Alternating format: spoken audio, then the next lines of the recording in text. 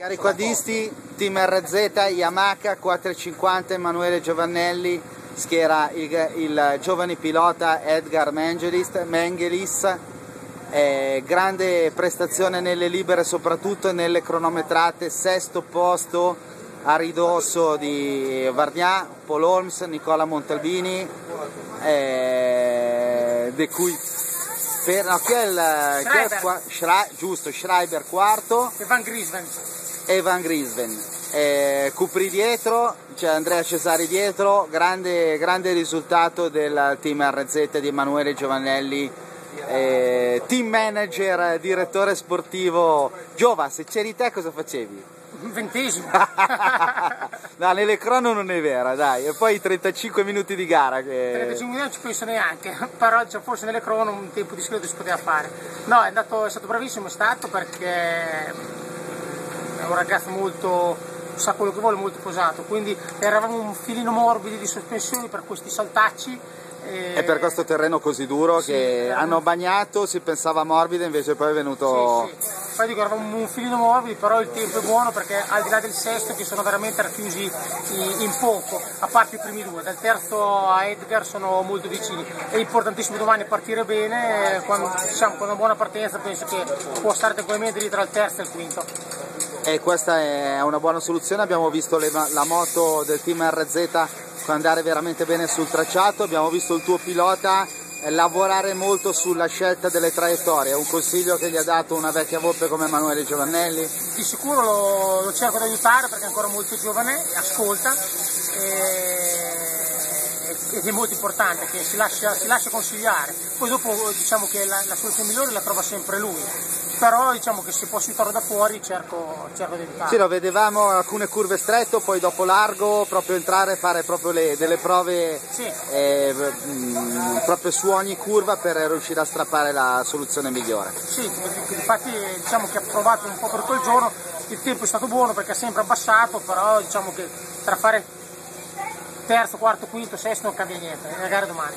Eh sì, perché si parte tutti in linea comunque nel quad cross e 35 minuti di gara, Giova. Oh. Ma serbatoio basterà?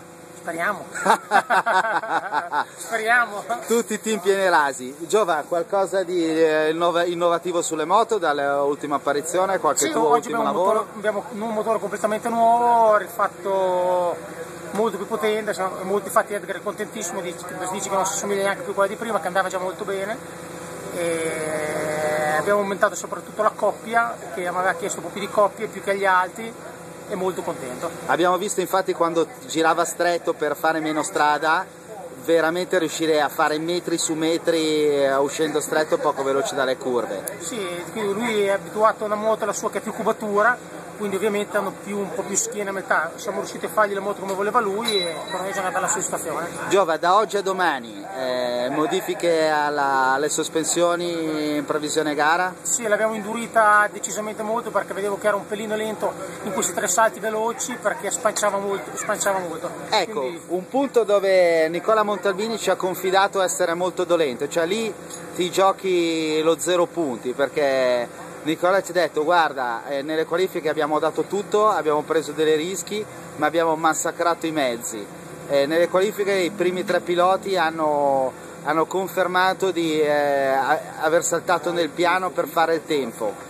In, uh, in gara quanto è importante la gestione del mezzo su quei salti, perché saltare corto vuol dire girare più lentamente, ma saltare sul piano vuol dire 35 minuti sicuramente non finirli e rompere la eh, sale. Infatti è quello che dicevamo, dicevamo, ieri, pur, oggi purtroppo eh, per il tempo può essere una buona soluzione perché carichi un secondo, però per 30 minuti di giro pure che le moto non ce la fanno arrivare in fondo.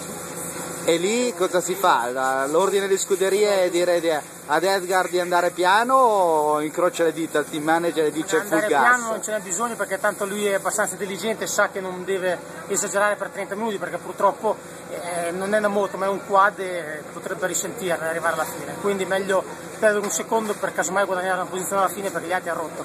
Quindi anche un'intelligenza tecnica di gestione della gara abbastanza richiesta per domani? Di sicuro e, e lì siamo sicuri che Manuali Giovannelli non sia secondo a nessuno. Per forza. Grande Giova, complimenti per il risultato e un arrivederci domani dopo la gara 1. Grazie, ciao a tutti.